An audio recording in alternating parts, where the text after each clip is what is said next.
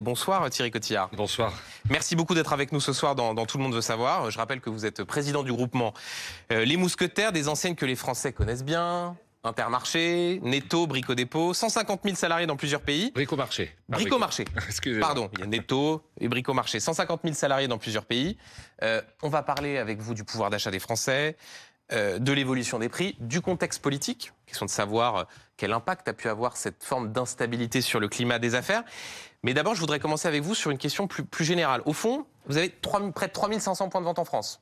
C'est 3005, ouais, c'est ça. ça 3500. confondues. Vous êtes une sorte de, allez, thermomètre, baromètre de ce que ressentent les Français dans euh, leur consommation, euh, leur pouvoir d'achat, bien sûr. Qu'est-ce que vous percevez en cette rentrée de l'état d'esprit des Français à travers précisément ces points de vente vous avez C'est d'autant plus vrai que nous sommes des indépendants qui sommes sur le terrain chaque semaine dans nos différents points de vente.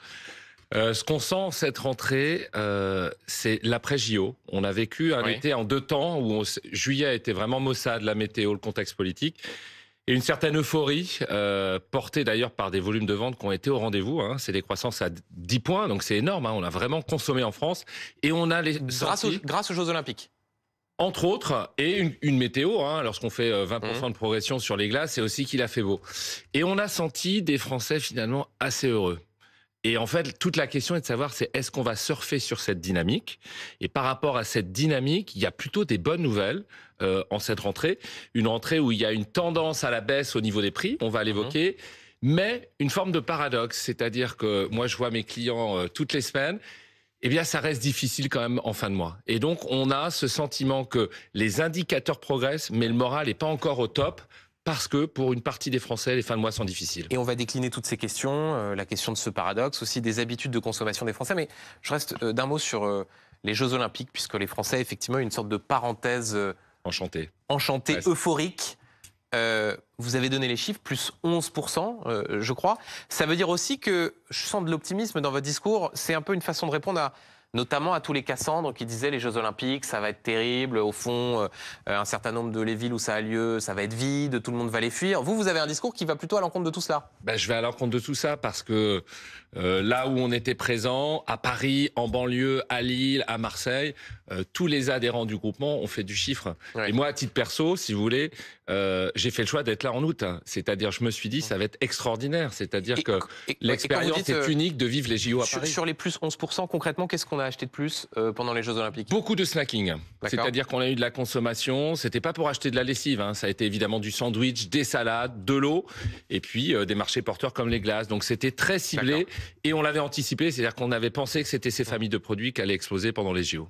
Sur la question du pouvoir d'achat des Français, Thierry Cotillard, je me souviens d'une expression utilisée par un de vos homologues, Alexandre Bompard, euh, PDG de Carrefour, qui disait que l'hyperinflation, euh, on l'a dépassé, hein, mmh. dire une inflation notamment euh, dans ce qui concerne l'alimentaire à deux chiffres, avait créé une forme de traumatisme euh, chez les Français. Est-ce que vous percevez encore ce traumatisme-là dans vos clients au quotidien, dans vos 3500 points de vente? Je pense. Je crois, je crois qu'il avait raison. Euh, il y a eu un traumatisme parce que, je, je, vous le redis, cette inflation à deux chiffres, vous avez compris, elle est derrière nous. Hein. Elle est là en ce Ça, moment. Ça, vous pouvez le dire Oui, elle C'est terminé. C'est terminé. L'inflation est à deux points. Et la bonne nouvelle pour tous les Français et les téléspectateurs qui nous écoutent, c'est que on commence à avoir une déflation sur les produits alimentaires. Déflation pour ceux qui nous regardent. Baisse de ça prix. Veut dire que c'est pas quand on disait l'inflation baisse ou c'est simplement que ça augmentait moins vite. C'est que là, franchement, ça baisse. Ça baisse, ça baisse sur les marques de distributeurs mhm. parce que vous avez des matières premières. Lorsque le blé a baissé, son cours a baissé au niveau mondial, les pâtes ont baissé, les biscuits ont baissé, et ça n'a pas été que cette matière première-là, ça a été le mhm. papier, donc les essuie-tout baissent, la rentrée scolaire avec euh, tous les cahiers ont baissé, et c'est des baisses significatives de l'ordre de 7%. Donc c'est une réalité. Mais il y a eu un traumatisme parce qu'en en fait, on s'est pris 20 points, on s'est pris 20% en deux ans. Et la réalité, il faut le dire, on ne reviendra jamais au prix de départ, au prix de 2022. Ça, vous le dites aussi à ceux qui, euh, voilà, espéraient ah, que ce soit une parenthèse. Ce serait impossible parce que et là, si on avait un industriel, il vous expliquerait. Et nous, nous sommes industriels. Vous savez, on a nos abattoirs, on a des usines pour fabriquer les produits à nos marques propres. Les salaires ont augmenté, mmh. les coûts de production sont plus importants, il n'y aura pas de retour en arrière. L'objectif des prochaines négociations, puisque les marques nationales, mmh. vous le savez, on les négocie une fois par an, ce sera d'aller chercher de la déflation, mais jamais dans cette proportion de 20%. Vous évoquiez les baisses de prix, euh, le blé, les fournitures en cette rentrée, notamment parce que le prix du papier baisse. Ça, il faut l'expliquer à ceux qui nous regardent. Euh, on demande souvent aux distributeurs d'avoir une sorte de boule de cristal. C'est pas facile, mais je vais quand même vous poser la question. Parce que ceux qui nous regardent là, ils voient certains prix qui baissent, même s'ils ne les voient pas toujours, parce qu'il peut y avoir une différence entre le ressenti et ce qu'on voit dans les rayons. Dans les mois qui viennent, est-ce que ça va continuer à baisser? Est-ce que les risques géopolitiques peuvent contribuer à ce qu'il y ait une inversion de cette dynamique-là Comment est-ce que vous sentez les choses dans les, dans les mois qui viennent? Dans les mois qui viennent, euh, très clairement, on va continuer à avoir quelques produits sur les marques de distributeurs qui vont baisser. Donc cette baisse qui est de l'ordre de 1 à 2 chez un marché va, va, va se confirmer. Tout le pari, c'est de savoir en mars. Mars, c'est demain, hein, c'est dans six mois. Est-ce que les industriels auront enregistré des mhm. baisses de matières premières ou il y aura de l'inflation parce que évidemment il y a des, cultures qui peuvent être en pénurie. Mhm. Je prends deux trois exemples pour être très factuel. Les tablettes de chocolat vont augmenter, le jus d'orange va augmenter. Pourquoi? Pourquoi? Parce qu'en fait on a eu des pénuries d'orange au niveau de la récolte en Amérique latine. Et sur le chocolat? Et, et, sur le chocolat, c'est la même chose. Donc le cours du chocolat il n'a pas augmenté, il s'est envolé. Il a fait x3, x4. Donc un Nestlé qui va venir avec sa tablette de chocolat voir l'acheteur d'Intermarché va revendiquer des hausses qui seront significatives et qui correspondraient à une Et là, pour les coups, vous les accepterez, vous ne direz pas, ce sont des, euh, des, euh, comment dire, des industriels qui euh, essaient de vous la faire à l'envers, si vous me permettez l'expression. Exactement. On a l'exemple d'une PME là en Bretagne qui est connue pour sa mousse au chocolat, la mousse au chocolat Marie Morin. Et eh bien, cette PME, je peux vous dire qu'elle peut pas attendre mars. Donc elle est en discussion avec mes acheteurs pour voir si justement dès le mois de septembre, on est en capacité à prendre quelques hausses pour l'aider à passer euh, cette inflation de matières premières. Et d'un mot sur ce qui va continuer à baisser, vous évoquiez le blé, euh, les pâtes Les pâtes, et puis d'une manière générale, l'énergie est en train de baisser. Euh, j'ai envie de vous dire, ça se voit à la pompe. Hmm. C'est-à-dire qu'il y a un an, l'essence était 20 centimes plus cher. Et là, on a quand même la lecture que l'effet euro-dollar est favorable et ça s'est détendu au niveau euh, de l'OPEP. Donc c'est plutôt, euh, c'est plutôt une tendance euh, pour les mois qui viennent. Il y a les prix et puis il y a les habitudes de consommation. là encore, je le cite. pardon, hein, Alexandre Bompard, PDG de Carrefour, qui avait parlé au moment de cette hyperinflation de tsunami de déconsommation. Est-ce que ça, vous la voyez encore? On va pas parler de tsunami, soyons juste précis, l'arrêté, et il avait raison, Alexandre Bompard, c'est 1,8% de baisse en volume des consommations. Ce qui n'est pas un feu de paille, c'est que les Français ont changé leurs habitudes de consommation. Euh, on va prendre peut-être une minute pour les expliquer, ces changements d'habitude. Déjà, ils ont décidé d'aller voir plusieurs enseignes, chercher les bons plans.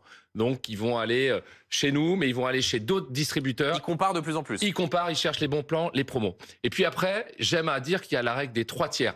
Il y a un tiers des Français qui vit bien et il ne il s'est rien passé. Mhm. Ils n'ont pas changé leurs habitudes. Le deuxième tiers, on a été, enfin, ces Français-là ont changé leurs habitudes et ils ont notamment acheté beaucoup plus de marques de distributeurs qui coûtent 30% moins cher. Mmh. Et le troisième tiers qui provoque vraiment la déconsommation, c'est des Français qui ont changé leurs habitudes, mais surtout qui se sont privés de produits. Et qui arrêtent d'acheter. Et ce tiers-là, vous continuez à le, vous continuez à le voir. Ah ben, euh on le voit, on le voit. Et notre politique, c'est de voir comment on peut contrebalancer ça en faisant des offres commerciales. Je vous prends un exemple très simple que tout le monde va comprendre. Le poisson et la viande a fortement inflaté et génère des baisses de marché. Inflaté, augmenté. Augmenté, pardon. Et fait que les, volumes baissent de 5%. Nous, chez Intermarché, on a nos bateaux pour, euh, pour pêcher et on a nos abattoirs. Donc sur la viande et le poisson, on a décidé de faire des produits à moins de 10 euros le kilo. Eh bien, on n'est pas en baisse, on est en progression. Donc ça prouve bien que le Français veut consommer. C'est juste une histoire de prix de vente. Un mot sur cette déconsommation euh, encore. Euh, on avait constaté, euh, du moins c'est ce que disaient les distributeurs, comme vous, que les Français se privaient de ce qu'on appelle les achats plaisir. Le jouet pour, pour son enfant, pour son fils, pour sa fille, la petite sucrerie, sucrerie, qui peut faire plaisir, dont on peut se passer, mais qu'on a quand même envie d'acheter.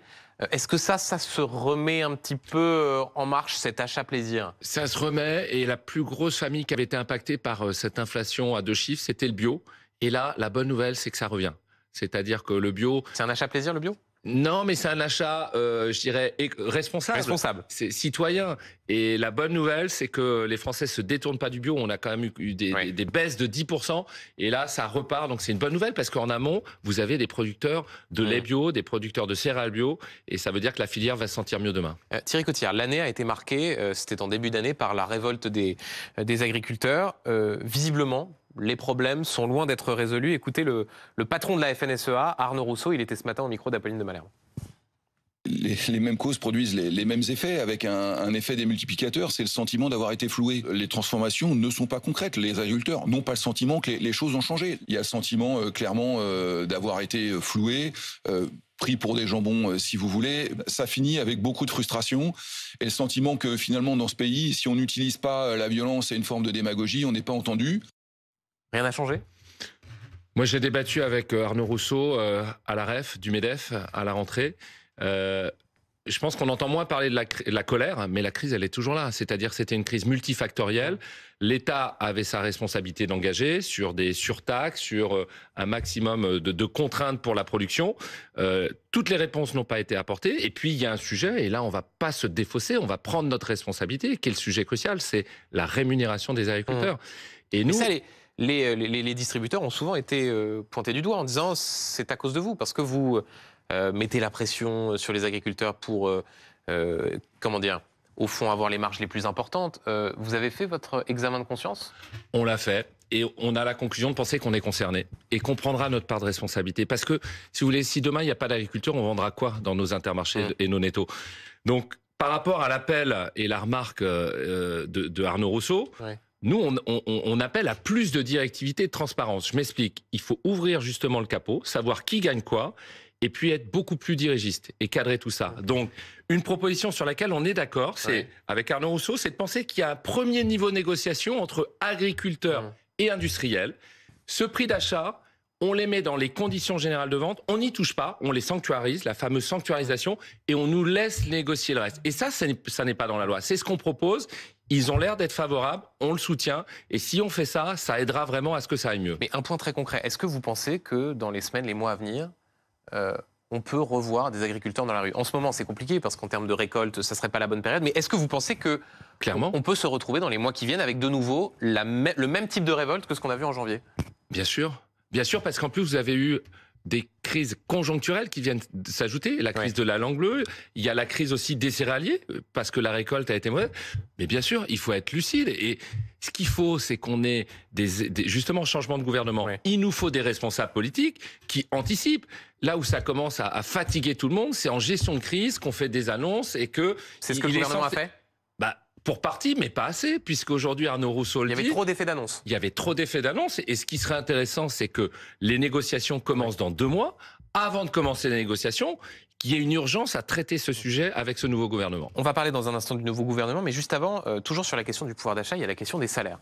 Et il faut dire que vous avez un discours assez euh, singulier, certains diront hétérodoxe, là où la plupart des patrons disent non, non, le SMIC, faut pas y toucher, euh, les salaires, oui, mais vous comprenez, il y a la question de la compétitivité. Je vous ai écouté, et quand on vous interroge sur le SMIC à 1600 euros, vous dites, bah, faut peut-être y réfléchir. Donc ça veut dire que vous assumez de dire qu'il faut augmenter, augmenter de façon importante le salaire minimum qui, je rappelle, est aujourd'hui à 1400 euros net.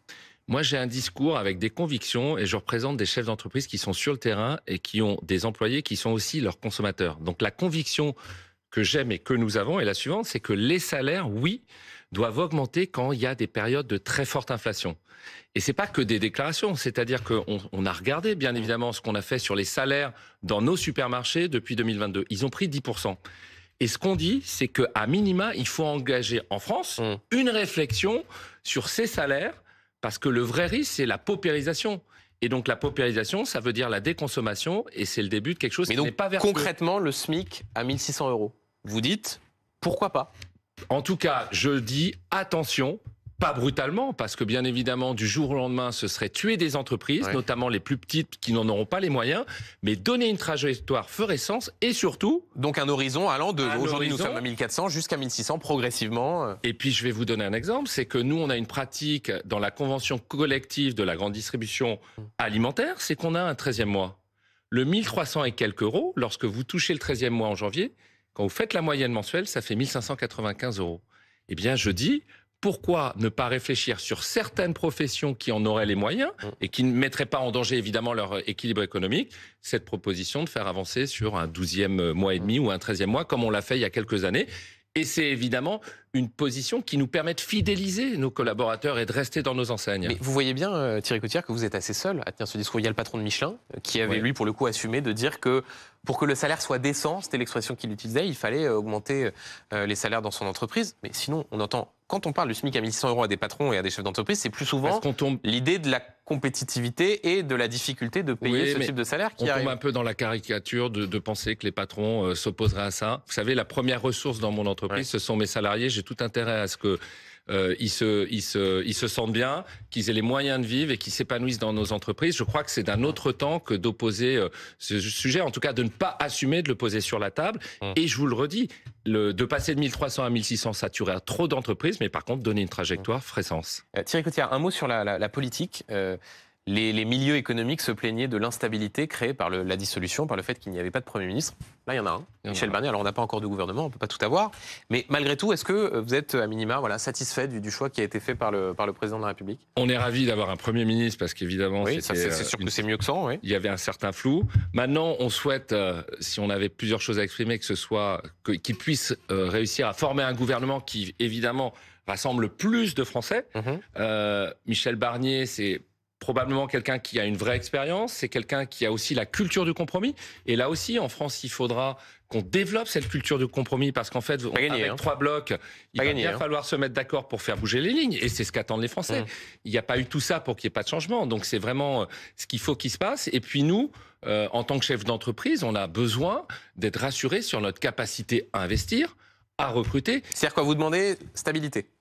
Non, pas surtout, mais par exemple, je vais vous donner un exemple pour être très concret. Sur les impôts, par exemple. Sur les impôts, on n'en demande pas plus et on demande Oui. surtout l'équité fiscale. C'est-à-dire que lorsque Amazon, qui prend le marché du non alimentaire, ou, euh, ou d'autres enseignes qui sont pas soumises à la fiscalité française, on demande d'être à la même enseigne et qu'ils soient taxés comme nous et ça rapportera en plus de, de- de- des revenus au niveau de la France. Mm. Ce qui ce qu'il faut euh, absolument sur euh, sur euh, tous ces sujets, c'est que on soit rassuré, par contre, aussi sur notre capacité à recruter. Et là, faut pas tout jeter. Vous savez, la chose extraordinaire qui a été faite ces dernières années, c'est de faire découvrir nos métiers aux jeunes. Donc l'apprentissage. Grâce à l'apprentissage, il y a eu Mmh. des aides. Donc, ce qu'on demande, c'est que tout ça soit pas euh, supprimé et que ça puisse être reconduit. Pour finir, un mot, euh, Thierry Cotillard, sur la question de la précarité euh, étudiante. Euh, Peut-être que quelques étudiants, beaucoup on espère, nous, nous regardent et vivent au quotidien en cette rentrée la difficulté euh, de se loger, euh, de se nourrir. Qu'est-ce que vous pouvez faire pour eux? Il faut pas qu'on oublie qu'on a tous été étudiants et c'est une période en septembre qui est compliquée. Donc, on a eu un plan euh, chez les mousquetaires. On s'est dit, euh, on va à notre niveau les aider à passer une meilleure rentrée. Donc, vous venez de le dire, il faut se déplacer. On a une enseigne qui s'appelle Rodi. Ils vont faire 25% de remise sur les vidanges. Il faut s'installer. On a Bricorama qui va faire un kit. Il y aura un bureau, une lampe et puis la chaise pour 85 euros. Et puis le plus important en termes de masse, c'est l'alimentaire. Donc exceptionnellement pour cette rentrée 2024, quand les étudiants vont aller dans notre appli, il y aura une communauté, ils auront 10% de plus. Je trouve que c'est super. En tout cas, ça va dans le sens Mm. que ça va aller mieux. Et puis, euh, il y a beaucoup d'étudiants qui ont besoin de bosser. Donc, les mousquetaires, c'est 4000 à 5000 offres, là, dès, dès la rentrée D'emploi. d'emploi pour nous aider, effectivement, à accueillir nos clients le week-end. Donc, ça, c'est une offre aussi intéressante pour eux.